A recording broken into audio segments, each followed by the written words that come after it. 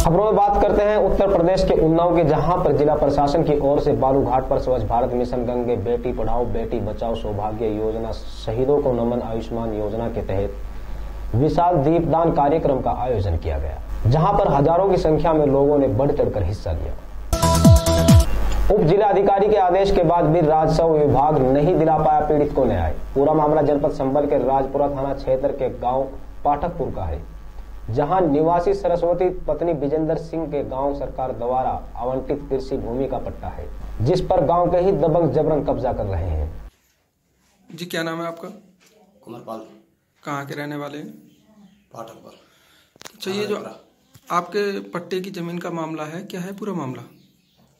ये पट्टा है हमारी मम्मी के नाम पर पट्टा है। ये पट्टा है लेकिन पट्टा होने के बाद में ये इन लोगों ने कब्जा कर लिया। है कौन कौन दबंग लोग कब्जा कर रहे हैं आपके पट्टे पे ये हैं ओमपाल और भीमसेन और धीरेन्द्र और रोहन दीरानाथ तो आपने किसी से शिकायत की उच्च अधिकारियों से? अधिकारियों से भी काफ़ी बार शिकायत कर चुके लेकिन हमारी कोई सुनवाई नहीं करता। थाने वाने पे गए आप शिकायत थाने में भी गए लेकिन उन्होंने भी कोई हमारी कोई बात नहीं सुनी। क्या नाम है आपका? सरवती। कहाँ की रहने वाली हो? पाठक पर अच्छा ये आपके पट्टे की ज़मीन पे कोई लोग कब्जा कर रहे हैं? क्या मामला है? बाबूजी देखो सरकार ने पट्टो दऊ मुझे हम्म। मैं विधवा हुआ रहती हूँ। हम्म। अब वे पटवारी बनवा रहा हुआ दूसरे को। हम्म। तो आपने पुलिस की शिकायत की? पुलिस पे शिकायत करी है एस टी एम पे करी है क्या फिर फार्म डाल दे हमारे कोई सुनवाई नहीं कर रहा बाबू हमारी। पुलिस पुलिस कोई सुनवाई नहीं पुलिस पुलिस कोई नहीं सुनवाई कर। रही जाओ तो हमें तो नहीं लौटा देता है। क्या कह देते हैं?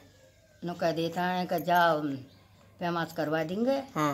और हम कहते हैं फिर पटवारी थे हाँ। तो पटवारी आना कहानी कर जाता खबरों में बात करते हैं राजस्थान के धोनी मीना के जहाँ पर स्थानीय कस्बे के संकट मोचन बालाजी मंदिर के परागरण में 2 नवंबर शनिवार शाम को हनुमान जी के 108वीं महाआरती का आयोजन किया गया। आयोजनकर्ता चंपा लाल मनोहर लाल राठी और कस्बे के ग्रामवासियों ने भाग लिया। वहीं भगवान जगदीश्वर की आरती भी की गई। धोरी मीना बाज़ार में पतंजलि आयुर्वेदिक के पास पटाखों की दुकान लगी है।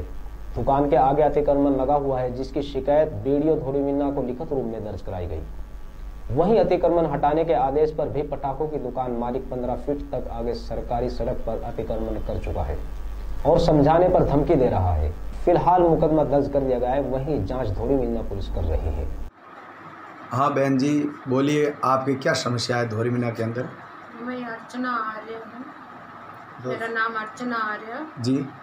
मैं धोरीमन में रेस्ट हाउस के पास में मेरी पतंजलि दुकान है। हाँ जी।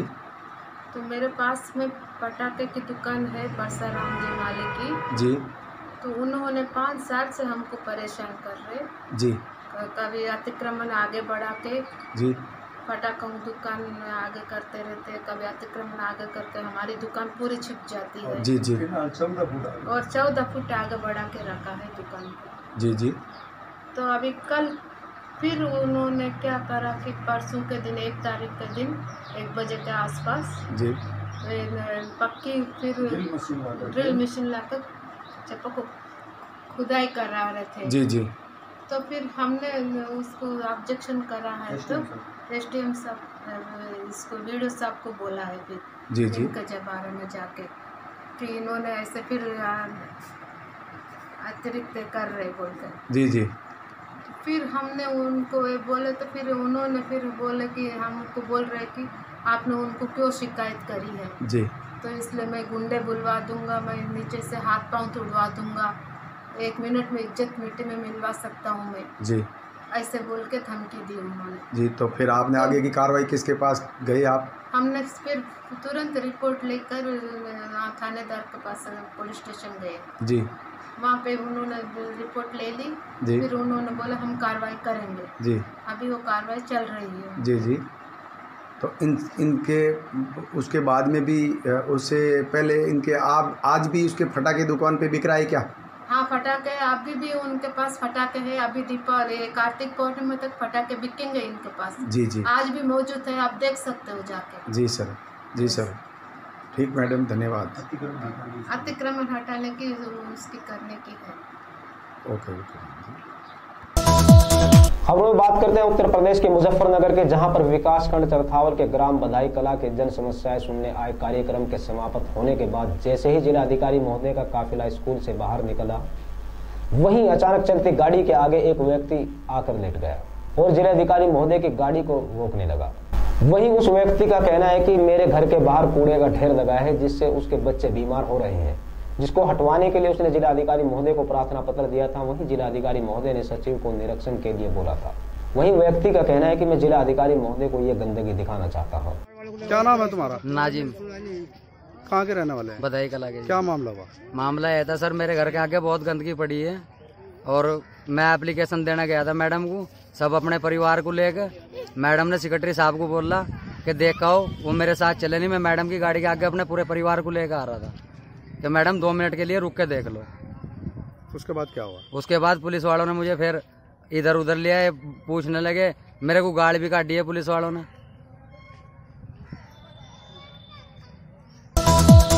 मोदी सरकार की सोच है कि सबको बेहतर स्वास्थ्य मुहैया कराया जाए लेकिन बेहतर स्वास्थ्य की सुविधा देने वाले जिम्मेदार ही मरीजों में दवाइयाँ न बांटकर उसको नाले में फेंक रहे हैं।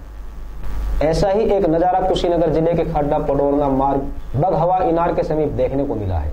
जहाँ पर इन दवाइयों को फेंक दिया गया है, जिससे सरकार का लाखों रुपया डूब गया है। और जिम्मेदार अधिकारी मौन धारण करे बैठे हैं। स्वास्थ्य सुविधाओं को लेकर के लाख दावे कर ले, लेकिन एक बार फिर कुशीनगर जनपद में जो है दवाइयाँ वो जो है नाले में देखने के लिए मिली हैं। आपको बता दें कि इन दवाइयों के जो जिम्मेदार होते हैं, जिनको दवाइयाँ वितरित करने के लिए दिया जाता है, वो शायद इन दवाइयों को जो है अब नाले में फेंकने लगे हैं। ऐसा ही एक दृश्य देखने को मिला है, कुशीनगर के खड्डा पडरौना मार्ग पर बघावा इनार के पास जो है तमाम तरह की सरकारी दवाइयाँ जो हैं वो नाले में मिली हैं। इसको लेकर इस, जिससे कि एक बार फिर स्वास्थ्य विभाग पर जो है एक सवालिया निशान खड़ा होता है कि आखिरकार ये दवाइयाँ जो है वो यहाँ नाले में आई कैसे?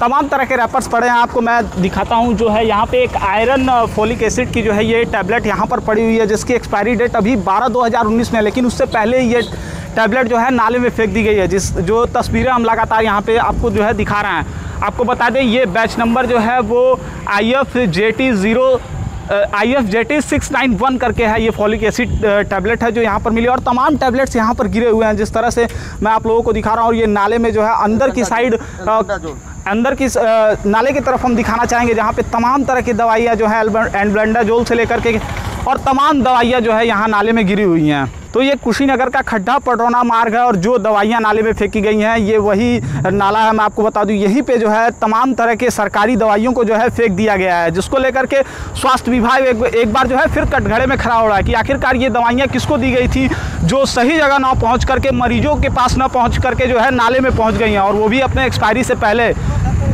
हाँ कागज़ पत्र हाँ। और आपका वहाँ मेडिकल रिप्रेजेंटेटिव भी रहता होगा जब वितरित होता होगा या वो अपने नहीं नहीं मेडिकल रिप्रेजेंटेटिव नहीं रहता है वहाँ पे। जैसे मान लीजिए कि आप बीआरसी में हैं तो फिर आपको दे दिया गया कि आपको इतनी दवा अल्वेंडाजोल या आयरन फोलिक एसिड की इतनी दवा हम दे रहे हैं। और जो बताया जाता है कि इत- इस डोज से इनको देना है।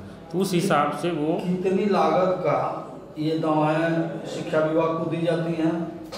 ये तो हम नहीं बता पाएँगे कितनी लागत का। अप्रोक्सीमेटली ये चीज़ हम नहीं बता पाएँगे कि अभी क्योंकि हम भी नए हैं इस अभी नए नए अभी सब चीज़ समझ रहे हैं अभी। किस मात्रा में दवाएँ उनको उपलब्ध कराई जाती हैं? मान लीजिए बीआरसी है तो वो तो ज़्यादा मात्रा मान लीजिए कि वहाँ पे एक हज़ार बच्चे हैं तो उनको मान लीजिए तो वहाँ पे उस हिसाब से एक हज़ार बच्चों को रेट से दवा लोग दे, देते होंगे दे रहे हैं। अभी देख वो तो जाँच पे पता चलेगा ना कितनी दवा कहाँ पे गई है।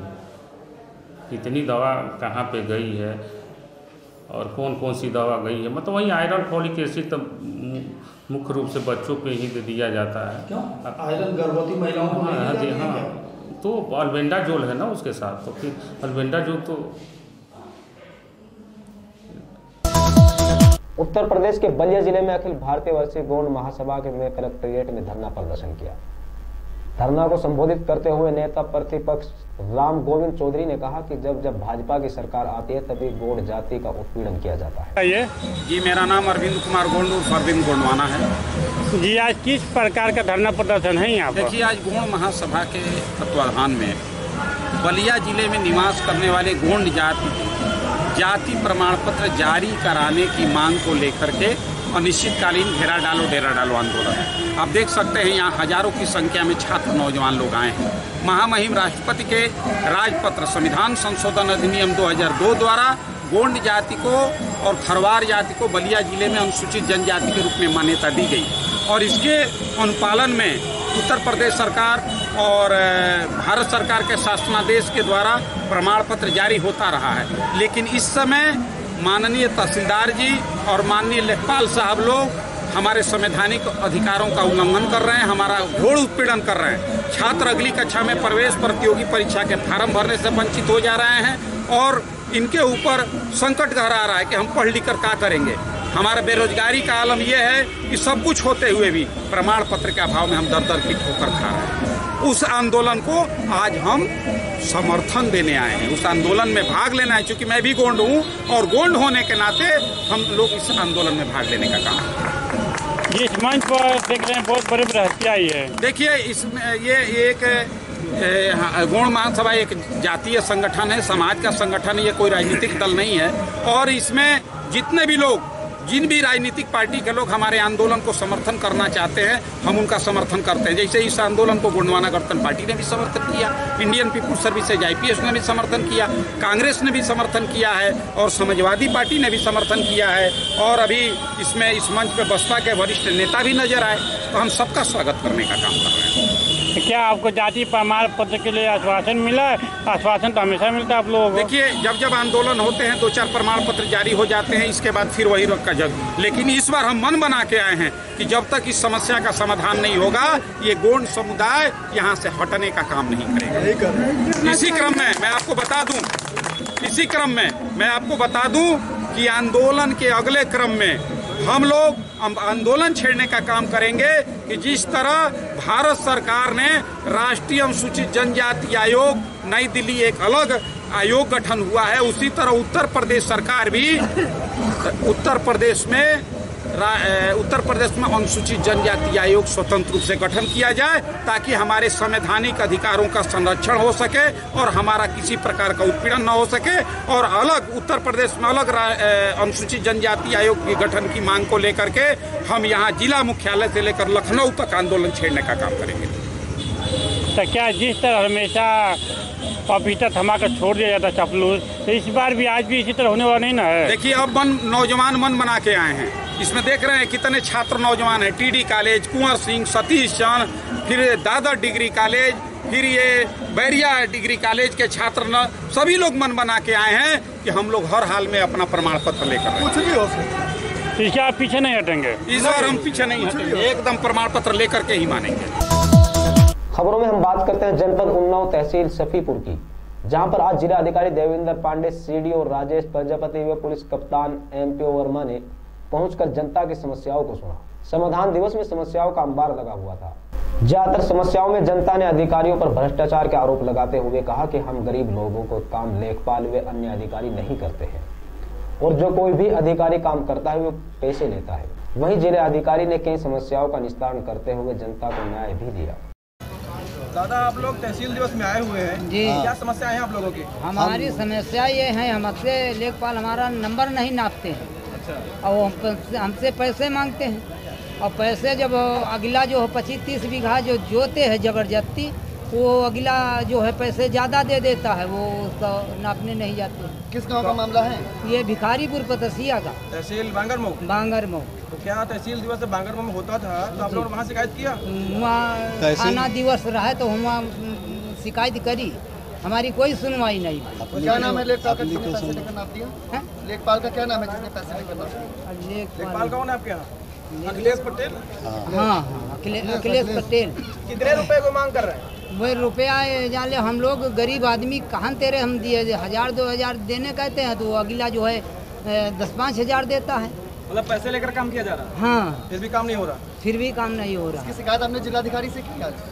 आज अबे नहीं की। अब आए हो करने? हाँ अब आज पहले की है आप? पहले पहले- नहीं, पहले यहाँ पहले थाना- थाना दिवस में। थाना दिवस में। आप लोगों में कितने कितने रुपए दिए हैं अभी तक? हम रुपये हम नहीं दिए। बोलो जो रुपये हम रहे थे चार हज़ार रुपये दिए हैं फिर भी जो है जहाँ पर हमारा नंबर है वहाँ पर नहीं नापा गया। मतलब आप और- भी ले लिए उसके बाद भी नहीं ना पा हाँ हमसे रुपये ले लिए हैं चार हज़ार। किसने लिए हैं? हाँ लेखपाल साहब ने। ने हाँ और नापा भी नहीं नंबर जहाँ पर है।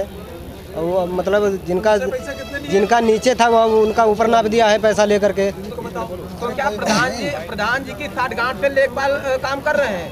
अब ये तो नहीं जानकारी नहीं है।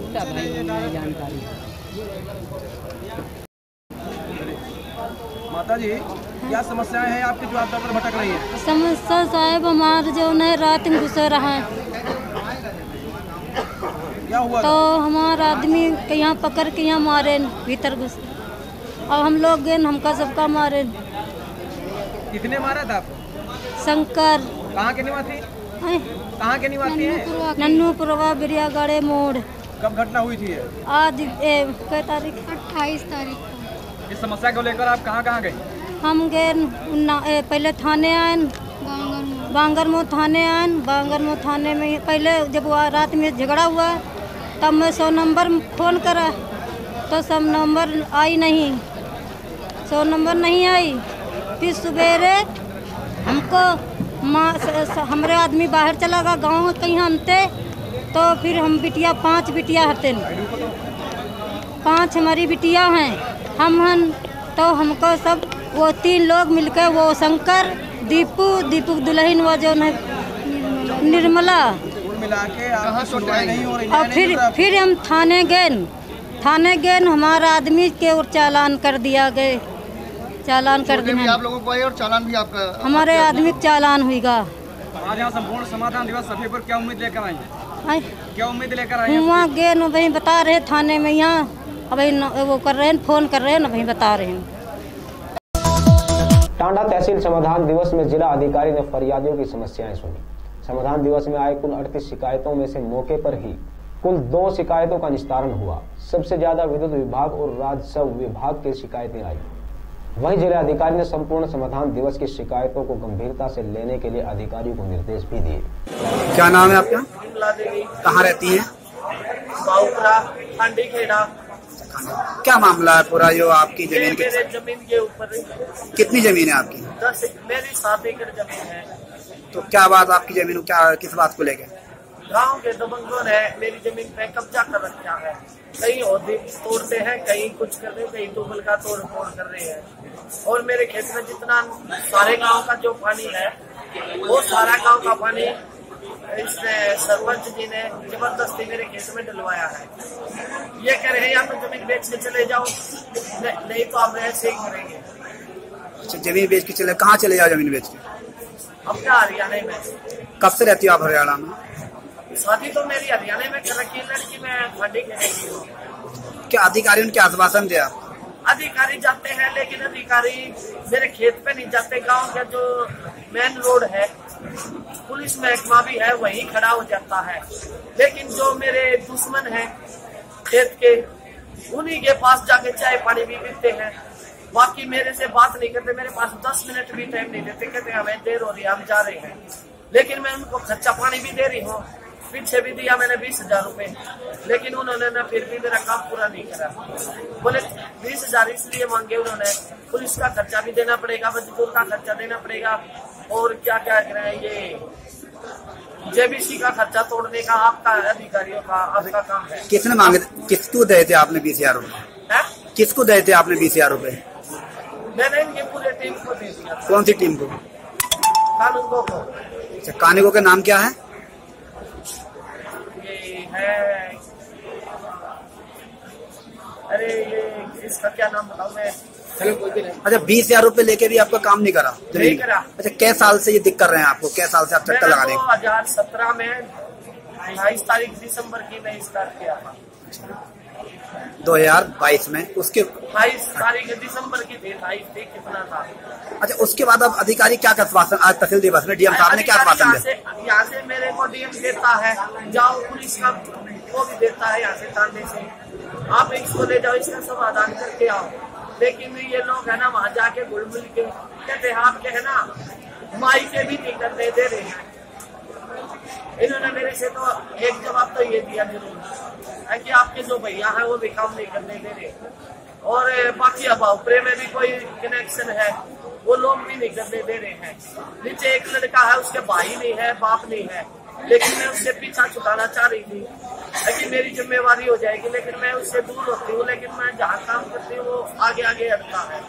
वो दारू इतनी पीता है, वो और लोग सोचते हैं कि इसी के साथ हाथापाई हो जाए इनका, और फिर इनका काम कच्चा गिर जाए।